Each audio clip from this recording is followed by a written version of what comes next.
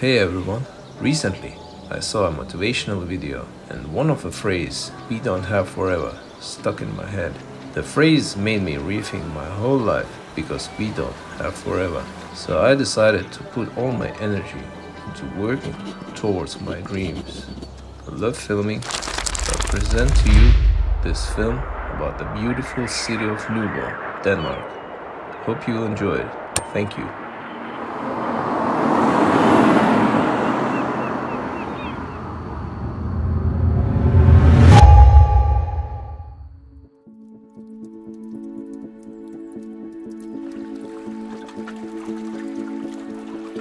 Thank you.